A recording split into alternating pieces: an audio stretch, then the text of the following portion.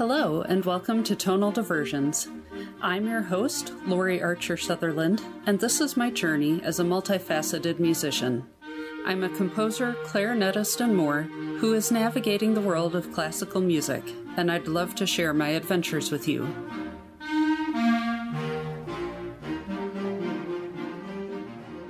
Welcome back to part two of my adventures with Dorico.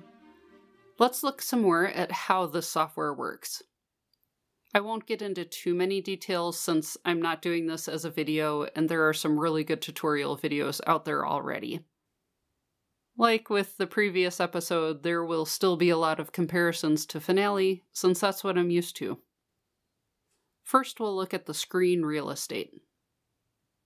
There's the top menu bar, which is fairly standard in any Windows program, and it has a lot of what you'd expect file, edit, help, etc.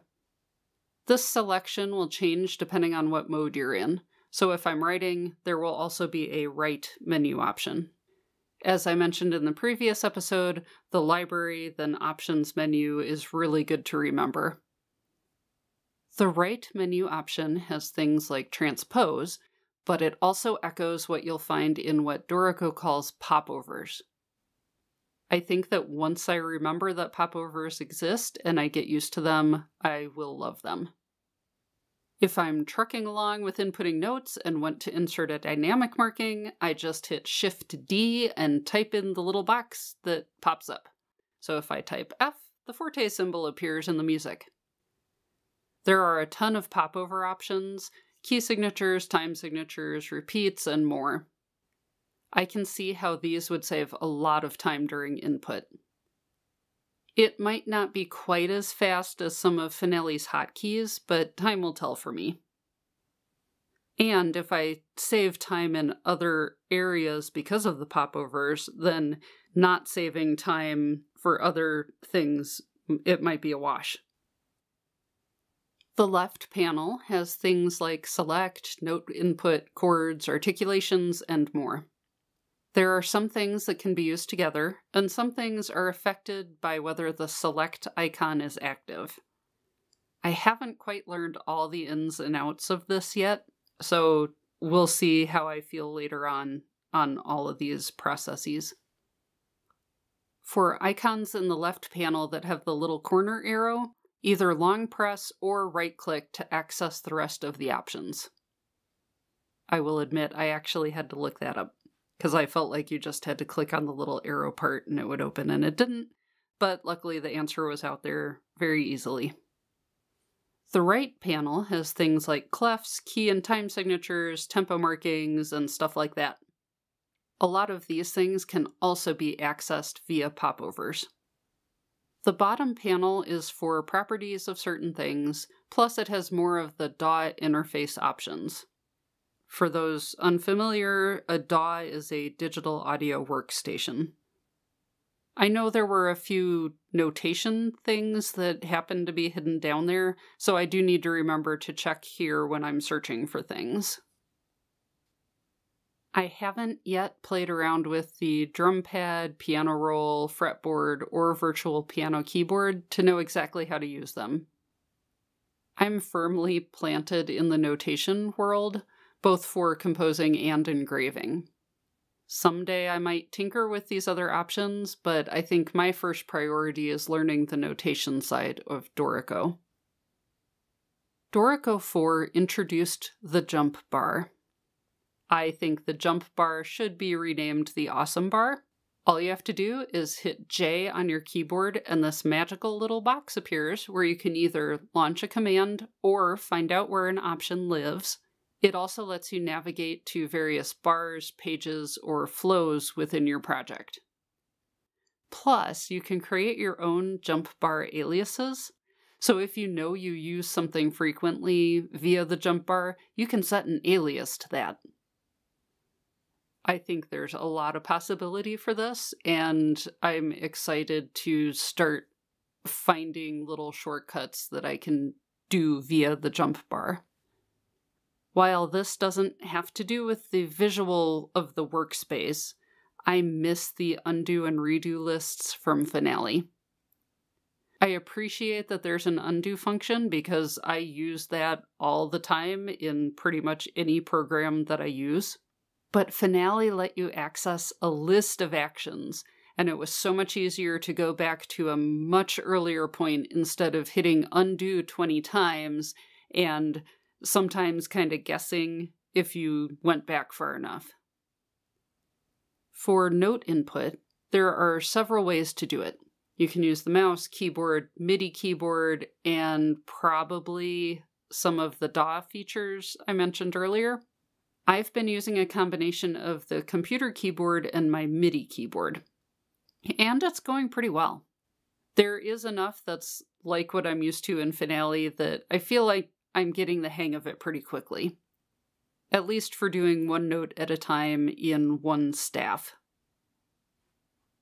I like that Dorico seems so much more intelligent about rests than Finale. With Finale, you start at the beginning of a measure, period. If you need rests at the beginning of a measure, you input those first before entering the notes that follow. With Dorico, your notes get input wherever the cursor is. So if you're in common 4 4 time and you put an eighth note somewhere other than the beginning of the measure, Dorico understands that and fills in the appropriate rests at the beginning of the measure. And that is really cool, let me say. I do have to be careful though, as I've meant to put notes in the beginning of the measure and not realize that my cursor was not there. So I end up with rests at the beginning. And that's where that undo key comes in really handy. I'll get used to it, and ultimately I do like this way better. It also understands more when you shift notes rhythmically regarding how rests and even other notes should adjust. There are a couple different ways to input multiple notes at once, and I'm still figuring out the ins and outs as to when you need to activate the chord function in order to add notes and when you can just input them all at once via the MIDI keyboard and then also what might work best with the popover. I need to look at more tutorials or articles on how to do that. It also seems to be picky about what you can do with start note input if select is still toggled on. I haven't figured all of that out yet either. Can I just say that I love that tied notes move together if you have to change pitch? That's always been such an annoyance with Finale. And while I realize that this is an episode about Dorico, I'll add that StaffPad also moves tied notes together. In Finale, it never made sense to me that you had to change the pitch of all the tied notes, which was especially annoying if you had a lot of measures of the same tied note, which I've had to do before. I'm guessing it's an old programming thing, but that doesn't make it any less annoying. Then there's insert mode. This is another thing that I am still learning my way around and how best to use it. I do like that Dorico is more intelligent about how the notes you insert affect the rhythm of the measure. It seems like you don't have to do as much deleting and reinserting overall, but again, I'm still getting used to this, so I still have to delete and reinsert. But along with this, there's also a stop bar. And this is where you can essentially lock a measure so that alterations you make before that don't affect things beyond a certain point. That will definitely be helpful. Moving on to articulations, dynamics, and more. With articulations, I like that there seems to be a mix and match as opposed to just a really long list of all possible articulations. So if I want the staccato and the tenuto, I just click both of them instead of finding the specific staccato and tenuto marking. And paste articulations is awesome. Yes, there's a similar feature in Finale, and I used that a lot, but this one is so straightforward. When you're pasting, you just right click and choose Paste Special. And one of the choices is Paste Articulations, and that is all you have to do. There's more magic in that Paste Special option, and I'll get to that in a bit. But first, we'll talk about dynamics. There's both an option on the left panel, but also remember that this is a popover option. There are a couple things that I still need to figure out, like pretty much everything in this program. There's still a lot I need to learn. For example, I needed to do fortissimo, then a decrescendo hairpin to piano. I had trouble getting it to work until I was able to click the dynamic without first choosing a note. It's just another thing I have to play around more with to see what I was really doing. Overall, I feel it's easier to switch between things like dynamics and articulations, between the popover option and having more of these buttons in the side panels. It just seems like there are fewer clicks overall to input these things. And again, some things may still be a touch faster with Finale's hotkeys, but that's not a deal breaker for me. And back to the paste special uh, option. This might be tied with the jump bar for helpfulness. If you right click to paste something, you can access the Paste Special menu. This lets you do things like copy or move to the staff above or below, paste articulations, explode music, reduce music, um, swap music. There's some really handy things that live just in this easily accessed option.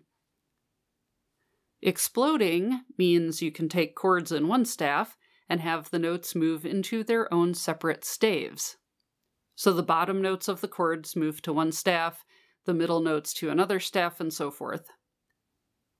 And while I know you can do that in Finale, I seem to remember it's hidden away in a plugin. So if you don't have the plugin, you might not even know that you can do this. The other thing I'm really excited for in the paste special options is the swap feature. And this lets you swap music between two staves. Possibly more, but definitely two staves. I've only played with it a little bit, but oh, it's going to be so helpful for me when I compose and arrange because there are times where I decide, no, this really needs to be in this other voice or staff and so I end up copying it to a new blank staff in order to paste everything. And it, it's just convoluted. So to be able to just, with only a couple clicks, tell it to switch staves, that's going to be so, so nice.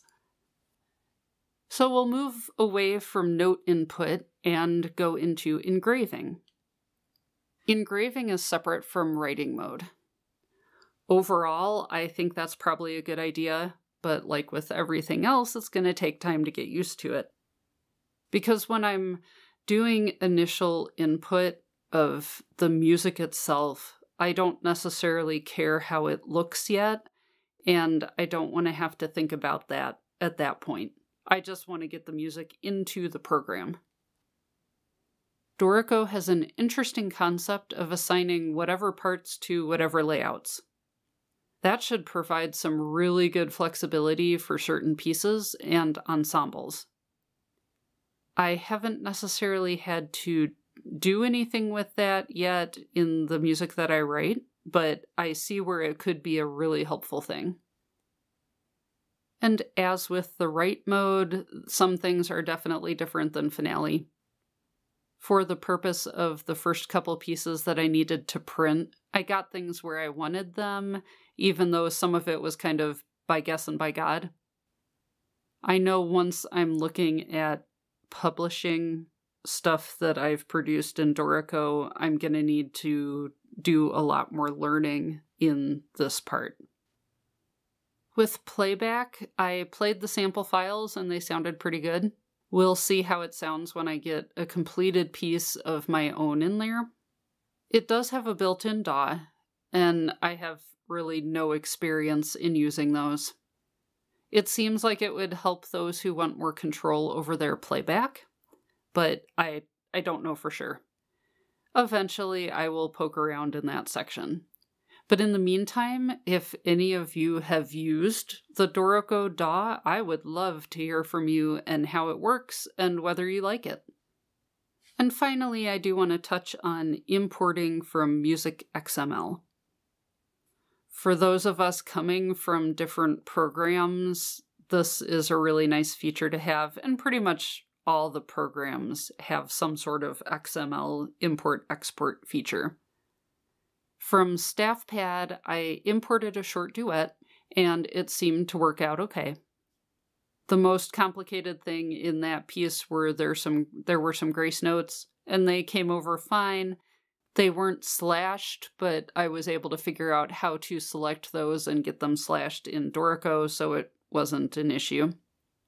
The instrument transposition also went well, and it honestly went a little better than when I've imported from StaffPad into Finale. I also imported XML from Finale on a file that I'm working on, and it came over just fine. I did have a couple issues with instrument transposition and display, specifically contralto and contrabass clarinets. But I did do a little bit of internet searching and I was able to solve that problem. It had to do with a forced clef versus letting Dorico do what it needed to do for those instruments. And once I found out how to get rid of the forced clef, things went fine. And now it transposes and displays just like I'm used to. What will be interesting is I do want to try importing the ocarina octet that I did into Dorico I used Finale for that project, even though I already owned Dorico, because writing for Ocarina was completely new to me, and I was learning how to write for that instrument. So I decided I didn't also need to learn new software at the same time. Plus, that was a commissioned project, so I didn't want to add on extra time just so that I could learn how to use this software. But now that the project is finished, I'm looking forward to importing that into Dorico and see how it interprets what I did to make the all the different ocarinas sound and display like I wanted them to. Finale just had one ocarina option for an instrument. I needed eight different ocarinas of various uh, transposition and range. So, yeah, it'll be interesting to see how Dorico handles that. And that concludes my adventures with Dorico. I'm enjoying the program. I do think it was a good step to go ahead and buy and start using it. I think they have done a lot of rethinking of how to get music into printed form. I'm looking forward to learning a lot more about it and just getting used to using it, and I think I'll be very happy with it. I plan to still keep Finale around um, for various reasons, partly because I have so much work that was created in Finale that it's just easier to go ahead and at least keep that alongside Dorico. I won't necessarily upgrade Finale every time, but I already wasn't upgrading all the time anyway. It all kind of depended on, well, budget, but also what was actually getting fixed or improved in the program. As always, I would love to hear from you. Do you currently use any notation software? What do you use? Do you like it? Are you thinking about switching to anything else? Um, that kind of stuff. So feel free to email me and I'd love to hear from you. Until next time. Thank you for listening to Tonal Diversions. Subscribe wherever podcasts are found and share with a friend. Until next time.